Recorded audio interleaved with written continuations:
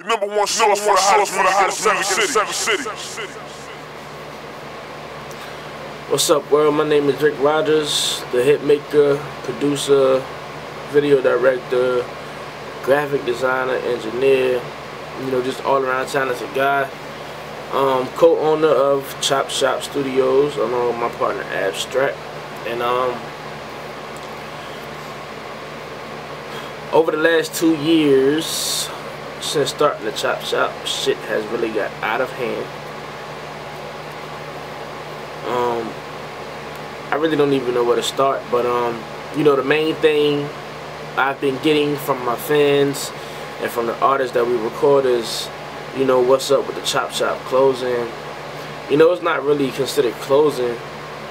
You know, we just shutting it down for a little bit, just just for a little bit only a month. It might last two weeks. I don't know yet. It depends on how well, like, or how quick we get everything organized.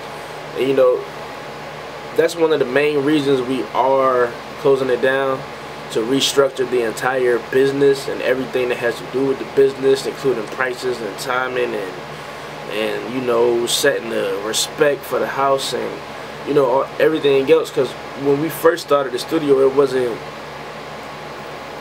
intentionally to be one of the hottest studios in the seven cities. It was more of a, you know, young cats like to smoke, like to drink, like to have fun, whatever. So, you know, we use our talent to make the money.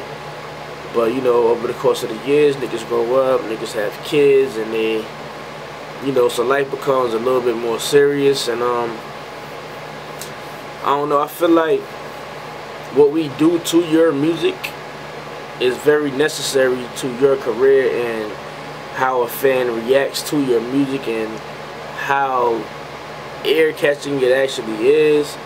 And I feel like we have a extremely big part to that.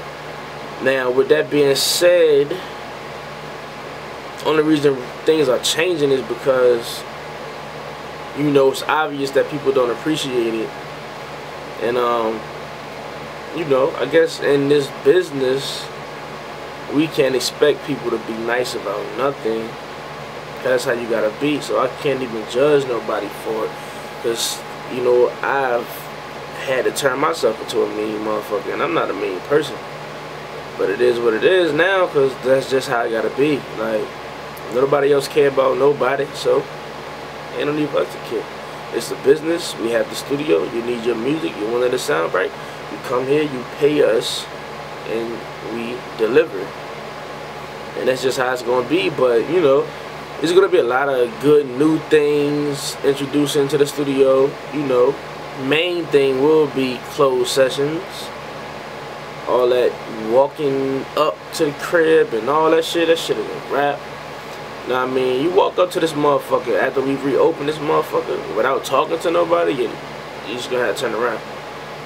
And, um, you know, uh, we're actually enforcing the time limit thing because we've basically been doing it $25 a song and not 25 a track. Why? Because we care so much and we understand that um, you know you can't do a song in in in in an hour and for some reason you couldn't write four bars to your song, so you want to take that time to write the blah blah blah. Fuck all that shit. That shit is whack. That shit is weak because niggas don't appreciate that shit. You know what I'm saying? Like that shit weak. Um, so that shit is a wrap. No, no more of that writing shit. If you gonna write, you pay for an hour to write, or if you gonna write the song in 30 minutes and record it in 30, blah blah blah. You know, cool. Um, one of the main things that will not happen anymore is the chops will not come with the. You know I mean? Like I said, this shit is not a game. We take it very serious. We are trying to get somewhere with our music. Um, what other areas? Um, turnaround times on videos and graphics and everything. Like, I try to be carrying and shit, so I tell a nigga when I shoot the video, it'll be done in two days, blah, blah. But that, that's my fault, you know what I'm saying? Because that shit actually do take time. I can do it fast, but I don't like doing it fast. I like to take my time on shit so I get shit done right. So yeah, turnaround times will be different. Or if you do want the two day turnaround time or the one day or the same day, pay for that shit. Cause I push a lot of shit to the side to do certain shit. Um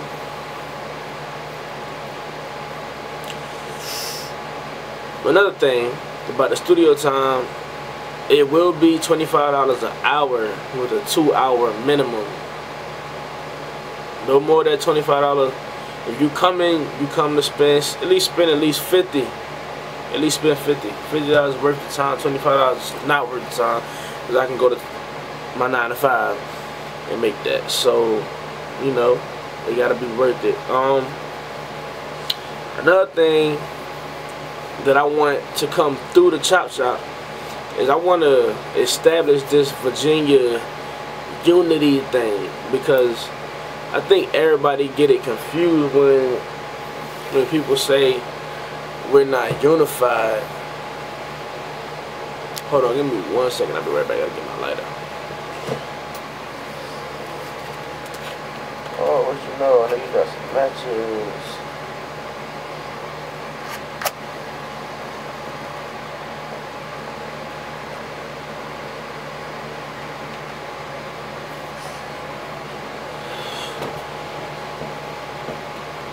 Like I said, I think people get confused when people say Virginia's not unified, and I'm thinking people probably thinking that we need to start a big label or something like that. It ain't even nowhere near none of that stupid shit. Um, it's just the point that don't nobody out here fuck with nobody, and that shit is sick to me.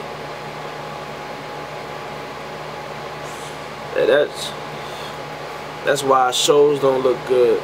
That's why mixtapes don't do numbers. That shit is crazy to me. Like, I've worked on so many people's albums and mixtapes and videos and CD covers. And I can't get one of y'all motherfuckers to share nothing that I share on the internet.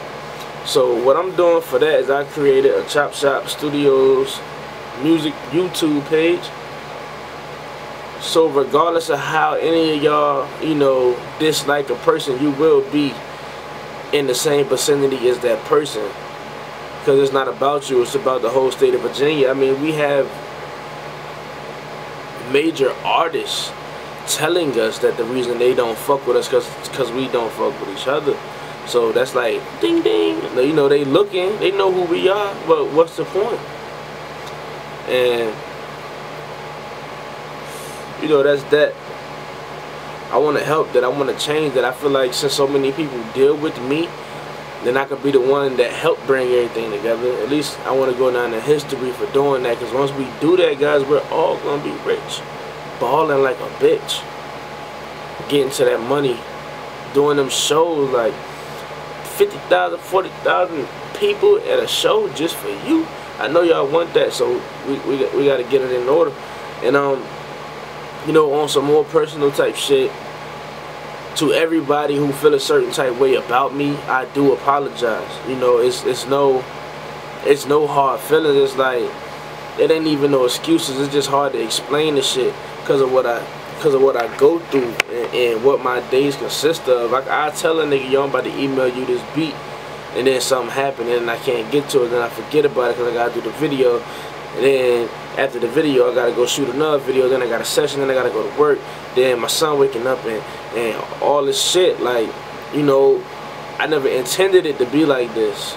Like as busy as it is, and you know, on behalf of my defense, you know what I'm saying. I don't feel like nobody really understand how busy I really am. Like, niggas feel like I'm shitting on them because I don't answer my phone for them and I don't have time to do this for them and shit. Like it's not even intentional, man. It's like I look at it like this. It's the only way I can make it make sense. Is like for your career, I'm the only person you come to. Like you know what I'm saying. But me, everybody come to me. So if you say you want a CD cover done, then you want your video shot, then you need to record nine tracks for the album. Then you need a Twitter picture, then you need a YouTube picture. Okay, that's one person with like five needs. But you gotta multiply that by like 60 and the number is growing. It's continuously growing. We get a new client every week. So it's growing. So I need y'all niggas to be patient. Like, be patient, man. You know what I'm saying? But like I said, we restructuring everything. we gonna get everything right. There's gonna be late fees and all that shit. So even on my behalf, like if I'm late starting the session, then you get the shit free. You know what I mean? If if if if shit is laid on my behalf, let's just keep it even. We gotta keep this shit rolling. We gotta get this shit going. Um, I don't know, man. Anybody that if you record somewhere else and you're loyal to your engineer, that's fine. Go spend the bread with him. But when you need that shit mixed down, you want that radio sound, you have to send it to us, man. There's, there's no other way around that shit. I will be posting videos of me actually mixing in action and you know all kind of cool shit show y'all some shit make a beat here and there. Um I will say this. The beat game has stepped up very very very very very crazy. I started cultivating my own sound now, so it's a little, it's weird, it's different, it's still South, hard hitting drum, blah blah. And um, I don't know y'all, November 1st, look forward to everybody putting that foot through the door because we going. And even if I gotta be the leading man, my nigga, that's just what a nigga gotta do. And as far as the whole French Montana thing, let me go ahead and speak on how I feel about that shit. And I'm not trying to start no shit with nobody now. I had no idea what was going on. Jack and Spade texted my phone and said, Did you know? Or he said, Did you send that pop that beat to French Montana? And I'm like, Nah. I sent them beats before through my nigga Young Los. Shout out to him. But nothing ever happened off of that. Um, and you know.